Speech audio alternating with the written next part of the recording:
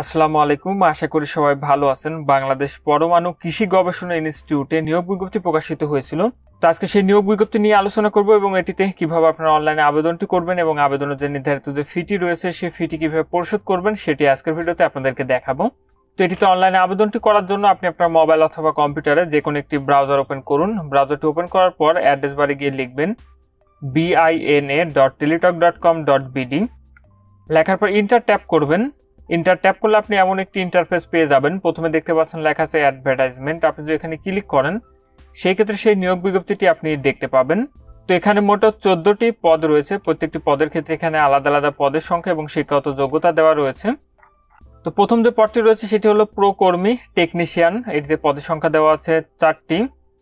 তো এটিতে আপনাদের শিক্ষাগত যোগ্যতা লাগবে কোনো স্বীকৃত বোর্ড হইতে ইলেকট্রিক্যাল বা অটোমোবাইল বা মেকানিক্যাল বা ওয়াটার সাপ্লাই বিষয়ের ডিপ্লোমা দুই নম্বর যে পদটি, সেটি হলো কম্পিউটার অপারেটর পদের সংখ্যা দেওয়া আছে দুইটি। তিন নম্বর হলো ষাট লিপিকার কাম কম্পিউটার অপারেটর পদের সংখ্যা দেওয়া আছে একটি। চার নম্বর হলো হিসাব সহকারী accounts assistant UDA cum cashier এটিতে পদের সংখ্যা দেওয়া আছে এগারোটি। পাঁচ নম্বরে রয়েছে বৈজ্ঞানিক সহকারী। এটিতে পদের সংখ্যা দেওয়া আছে দুইটি। বৈজ্ঞানিক সহকারী দুই, এটিতে পদের সংখ্যা দেওয়া আছে দুইজন। সাত নম্বরে রয়েছে পিএ এটিতে পদের সংখ্যা দেওয়া আছে দুইটি। আট নম্বর যে পদটি রয়েছে, সেটি হলো ডাপস ম্যান এটিতে পদের সংখ্যা দেওয়া আছে একটি। নয় নম্বরে রয়েছে ড্রাইভার অথবা ট্রাক ড্রাইভার পদের সংখ্যা দেওয়া আছে তিনটি। দশ নম্বরে রয়েছে ডাটা এন্ট্রি অপারেটর পদের সংখ্যা দেওয়া আছে দুইটি। এগারো নম্বর রয়েছে অফিস সহকারী কাম, কম্পিউটার মুদ্রা অক্ষরিক পদের সংখ্যা দেওয়া আছে বারোটি। বারো নম্বরে রয়েছে পাম্প অপারেটর পদের সংখ্যা দেওয়া আছে একটি। তেরো নম্বরে রয়েছে বাবুচ্চি পদের সংখ্যা দেওয়া আছে একটি। চোদ্দ নম্বরে রয়েছে প্লাম্বার, পদের সংখ্যা দেওয়া আছে তিনটি। তো এখানে এক থেকে যে তেরো নং যে পদটি রয়েছে, এখানে যেই জেলার নামগুলো আপনারা দেখতে পাচ্ছেন, এই জেলার প্রার্থী কিন্তু আবেদন করতে পারবেন না। তবে এতিম ও শারীরিক প্রতিবন্ধী কোটায় সকল জেলার প্রার্থীরা আবেদন করতে পারবেন। এবং সর্বশেষ চোদ্দ নম্বর যে পদটি রয়েছে, এটিতেও এখানে যে জেলার নামগুলো লেখা রয়েছে, তারা আবেদন করতে পারবেন না। নিচের অংশে আরও কিছু শর্তাবলী দেওয়া রয়েছে। তো এটিতে আপনারা অনলাইনে এক মাস সময় পেয়ে যাবেন এটিতে আবেদন করার জন্য। আবেদনটি শেষ হবে বাইশে এপ্রিল দু হাজার বাইশ তারিখে। আপনি যখন এটি অনলাইনে আবেদনটি করবেন, আবেদন করার পূর্বে এই বিজ্ঞপ্তিটি ভালো করে কিন্তু আপনি পড়ে নেবেন। আর এই বিজ্ঞপ্তির লিঙ্কটি আমি ভিডিও ডিসক্রিপশনে দিয়ে দেবো। আপনারা চাইলে সেখান থেকে এটি ডাউনলোড করে নিতে পারবেন। তো এটিতে কীভাবে আপনারা অনলাইনে আবেদনটি করবেন, চলুন আমি আপনাদেরকে সেটি দেখিয়ে দিচ্ছি। তো এটিতে অনলাইনে আবেদনটি করার জন্য এখানে দেখতে পাচ্ছেন লেখা আছে অ্যাপ্লিকেশন ফর্ম, আপনি এখানে ক্লিক করবেন। তারপর আপনি নিয়োগ বিজ্ঞপ্তিতে যে পদগুলো দেখতে পেয়েছিলেন, সেই পদগুলো এখানে দেখতে পাবেন। তো আপনি যে পদে আবেদনটি করবেন, সেটির উপরে সেখানে ক্লিক করে নেক্সটে ক্লিক করবেন।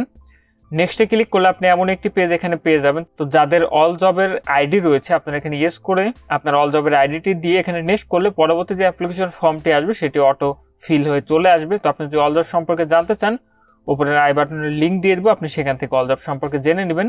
আর যাদের এই অলজবের আইডি নেই, তারা নো করে এখানে নেক্সটে ক্লিক করবেন। নেক্সটে ক্লিক করলে এখানে অ্যাপ্লিকেশন ফর্মটি চলে আসবে, তো লক্ষ্য করুন ভালো করে। এখানে যেগুলো স্টার চিহ্ন দেওয়া রয়েছে, সেগুলো কিন্তু অবশ্যই আপনাকে পূরণ করতে হবে। তো অনলাইনে আবেদন করার পূর্বে আপনার সার্টিফিকেট জাতীয় পরিচয়পত্র অথবা জন্ম সনদ, আপনার ছবি ইত্যাদি, এইসব প্রয়োজনীয় কাগজপত্র নিয়ে আপনি অনলাইনে আবেদনটি করতে যাবেন। তো এখানে আপনার নামটি লিখতে হবে, আপনার সার্টিফিকেটে যেভাবে রয়েছে, ইংরেজিতে লিখবেন, তারপর এখানে পিতার নামটি লিখে দিবেন, মাতার নাম, আপনার জন্ম তারিখটি এখানে দিয়ে দিবেন, তারপর এখানে জেন্ডারটি সিলেক্ট করে দিবেন, তারপর রয়েছে ন্যাশনালিটি তারপর রয়েছে রিলিজন আপনার ধর্মটি এখানে সিলেক্ট করে দিবেন, তারপর নিচের অংশে এখানে ন্যাশনাল আইডি অথবা বার্থ রেজিস্ট্রেশনের দুইটি যে কোনো একটি কিন্তু আপনাকে দিতে হবে।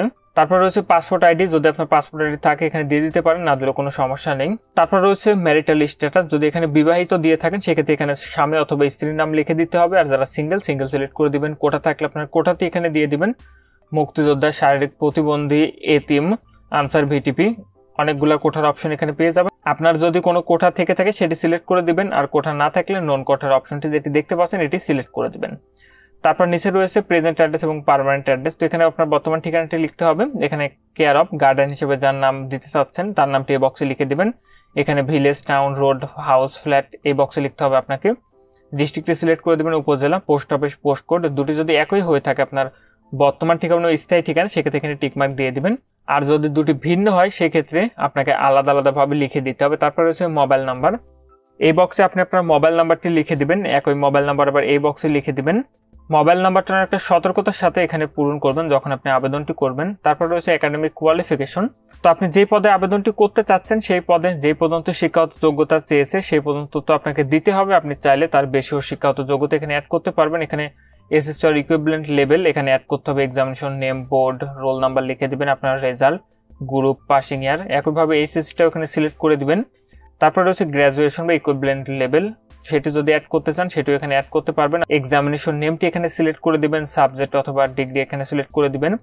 ইউনিভার্সিটি অথবা ইনস্টিটিউট নেমটি দিয়ে দিবেন আপনার রেজাল্ট পাসিং ইয়ার এবং কোর্স ডিউরেশন সর্বশেষ রয়েছে এখানে এক্সপিরিয়েন্স আপনার যে পদে আবেদনটি করবেন, সেই পদে যদি কোনো অভিজ্ঞতা চেয়ে থাকে, সেক্ষেত্রে এমন অপশন আপনি পেয়ে যেতে পারেন। সেক্ষেত্রে এখানে ইয়েস করে দিবেন। তারপর রয়েছে ডিপার্টমেন্টাল ক্যান্ডিডেট স্ট্যাটাস আপনি যদি সরকারি, আধা সরকারি বা স্বায়ত্তশাসিত কোনো প্রতিষ্ঠানের কর্মরত প্রার্থী হয়ে থাকেন, সেক্ষেত্রে সেটি আপনাকে এখানে সিলেক্ট করে দিতে হবে। আর যদি না হয়ে থাকেন কোনো কর্মরত প্রার্থী, সেক্ষেত্রে এখানে নন এই অপশনটি আপনি সিলেক্ট করে দেবেন। তারপর এখানে ভ্যালিডেশন কোডটি লিখে এখানে একটি টিক মার্ক দিয়ে নেক্সট করবেন। তো এখানে নেক্সট করার পূর্বে আপনি যে ফর্মটি পূরণ করবেন, সেটি একবার ভালো করে দেখে নেবেন যে সব ঠিক আছে কিনা। যদি সব ঠিক থাকে নেক্সট করবেন। নেক্সট করলে আপনার অ্যাপ্লিকেশনটি পিবি হবে। আপনি সেখানে আপনার আবেদনের কপিটি আপনি দেখে নেবেন যে সব ঠিক আছে কিনা।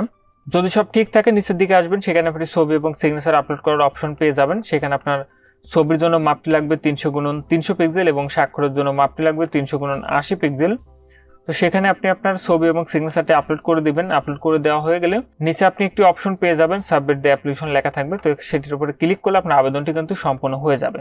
তো আপনার যখনই অনলাইনে আবেদনটি সম্পন্ন হয়ে যাবে, তারপরে আপনাকে, আপনি যে পদে আবেদন করেছেন, সেই পদে যে নির্দিষ্ট যে ফিটি রয়েছে সেই ফিটি আপনাকে পরিশোধ করতে হবে। তো বাংলাদেশ পরমাণু কৃষি গবেষণা ইনস্টিটিউটে যে নিয়োগ বিজ্ঞপ্তিটি প্রকাশিত হয়েছে, এটিতে যে নির্ধারিত ফিটি রয়েছে সেটি হলো এক থেকে তেরো নং পদের জন্য একশো বারো টাকা এবং চোদ্দ নং পদের জন্য মাত্র ছাপ্পান্ন টাকা আপনাদের ফি প্রদান করতে হবে। এটি অবশ্যই আপনাদের টেলিটক প্রিপেড মোবাইল নাম্বারের মাধ্যমে ফিটি পরিশোধ করতে হবে। আপনি আপনার টেলিটকে পর্যাপ্ত পরিমাণ টাকা রিচার্জ করে রাখবেন। তো আপনি আপনার মোবাইল মেসেজ অপশনে গিয়ে আপনাকে লিখতে হবে বিআইএনএ একটা স্পেস দিয়ে ইউজার আইডি আপনি যখন আবেদনটি করবেন, আবেদন করা সম্পূর্ণ হয়ে গেলে অনলাইনে আপনি একটি ইউজার আইডি পেয়ে যাবেন। সেই ইউজার আইডি লিখে আপনাকে সেন্ড করতে হবে ওয়ান সিক্স ট্রিপল টু নম্বরে। সেন্ড করলে সেখান থেকে ফিরতি মেসেজ চলে আসবে। সেখানে আপনার নাম লেখা থাকবে, কত টাকা চার্জ কাটবে সেটি লেখা থাকবে এবং সেখানে একটি পিন নাম্বার দেওয়া থাকবে। পিন নাম্বারটি আপনি কপি করবেন অথবা কোথাও লিখে রাখবেন। পুনরায় আবার মোবাইলে মেসেজ অপশনে গিয়ে আপনাকে লিখতে হবে। বিআইএনএ একটা স্পেস দিয়ে লিখবেন ওয়াইএস আর একটা স্পেস দিয়ে আপনি যে পিন নাম্বারটি পেয়েছেন, সেই পিন নাম্বারটি লিখে আপনাকে সেন্ড করতে হবে ওয়ান সিক্স ট্রিপল টু নম্বরে। সেন্ড করলে সেখান থেকে একটি ফিরতি মেসেজ আসবে, সেখানে আপনার নাম লেখা থাকবে এবং সেখানে একটি ইউজার আইডি এবং পাসওয়ার্ড দেওয়া থাকবে। সেটি সংগ্রহ করে রেখে দেবেন। পরবর্তীতে আপনার প্রবেশপত্র ডাউনলোডের সময় সেটি প্রয়োজন হবে। আর প্রবেশপত্র প্রাপ্তির যে বিষয়টি, এখানে যে ওয়েবসাইটের ঠিকানাটি দেখতে পাচ্ছেন, এখানে গিয়ে আপনাদের প্রবেশপত্র ডাউনলোড করতে হবে। প্রবেশপত্র তৈরি হয়ে গেলে আপনাদের মোবাইলে এস এম এস দিয়ে আপনাদেরকে জানিয়ে দেবে। তো এভাবেই বাংলাদেশ পরমাণু কৃষি গবেষণা ইনস্টিটিউটে আপনি চাকরির আবেদনটি অনলাইনে সম্পন্ন করতে পারবেন। তো আজকের ভিডিওটি এই পর্যন্তই। কোনো কিছু জানা থাকলে অবশ্যই কমেন্ট করে জানাবেন। আর ভিডিও ডিসক্রিপশনে আমাদের ফেসবুক পেজের লিঙ্ক দেওয়া থাকবে। চাইলে সেখানে আপনারা মেসেজ করতে পারেন। তো সবাই ভালো থাকুন সুস্থ থাকুন নিরাপদে থাকুন আল্লাহ হাফেজ।